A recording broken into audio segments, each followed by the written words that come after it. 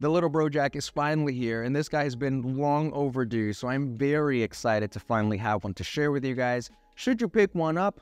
Let's find out. So the Little Bro Jack comes in at 6.2 inches overall. We've got a blade length of 2.7 inches. The blade style is clip point with a satin finish and the covers are dark matter fat carbon copper. So of course I had to get my little bro to look exactly like my big bro because you just gotta have matching, right? Like big bro, little bro, it just makes sense.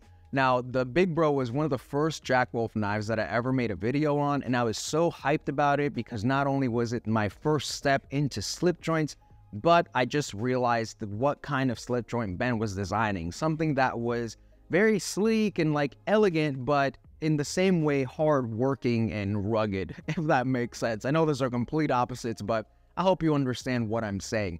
The walk and talk on the Big Bro was a lot stronger than what I was used to. You had a lot of room to open up that blade without having to use the nail nick. Fat carbon and camo carbon was like a brand new thing to me too. So I was just like over the moon with the Big Bro Jack. I felt like it was absolutely perfect. And to this day, it's still one of my favorite Jack Wolf knives slip joint.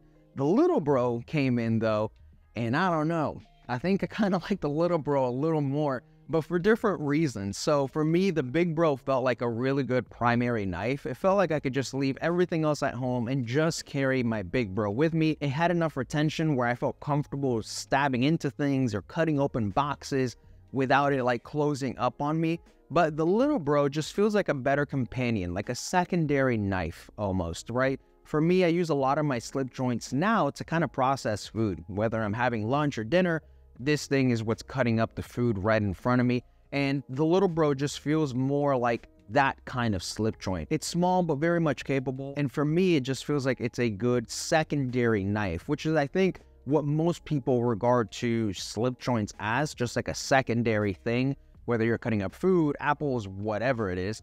The Little Bro Jack, I feel like, just kind of fits that better. The Little Bro still has all the things that I love about the Big Bro, of course, like the clip point blade, the satin finish, the dark matter fat carbon scales, like everything is still there, just in a shrunken down package. Even ergonomics are still really good, right? Everything, all four fingers cover that up.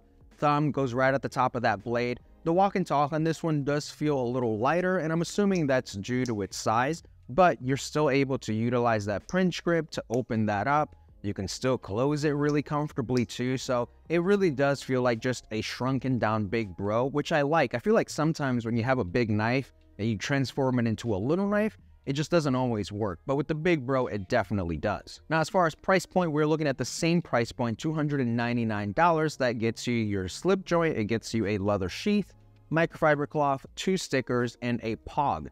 The packaging on Jack Wolf knives are always incredible. That's something to never complain about. And the $299 price point seems steep for many, and I totally get that. But I've never received a Jack Wolf knife that I've never been over the moon with. Fit and finish is always perfect. I've handed these to people that normally don't own knives, and they are always incredibly impressed. So, in my opinion, $299 is definitely worth it. You also get a wide variety of options. Some of your options are Camo Carbon Flow Party, Rosewood, Fat Carbon Nebula, Kyanite Crystal Lake, and the one that I have, Fat Carbon Dark Matter Copper. So ultimately, should you get the Little Bro Jack, for me, if you're looking for a really good secondary knife, the Little Bro Jack is definitely worth it. Ergonomics are there, really great steel, nice hollow grind for all of your EDC tasks, and walk and talk is just perfect. Not strong enough, not light enough, it's just perfectly tuned. So I definitely think you should get one. If you're looking for something that's primary, maybe you just want to carry a slip joint around, then maybe I'd recommend something like the Big Bro. Again, just my personal opinion. But the Little Bro does drop today at 2 p.m. Eastern, 11 a.m. Pacific at your authorized dealers. You guys know that I love my buddy Brian over at Blade Capone, so if you want to pick one up, he will have every single variation. His link will be down in the description. And that is it, guys. That is everything you need to know about the Little Bro Jack. Again, highly anticipated. As always, Ben knocks it out of the park. It's been awesome being able to continue to build this friendship with Ben and Donnie over at Jack Wolf. Anything they drop is gold, honestly. I've enjoyed every single release, and I'm not saying that just to kind of butter you guys up. I really do enjoy these knives. I think they're incredibly well made, and we have some really fun stuff coming up with Ben that I'm excited to show you guys. But that is it. Thank you guys so much for tuning in. I hope you guys pick one up. I hope you pick up what you're after if you're hoping to score on the drop today. And I'll catch you guys in the next video.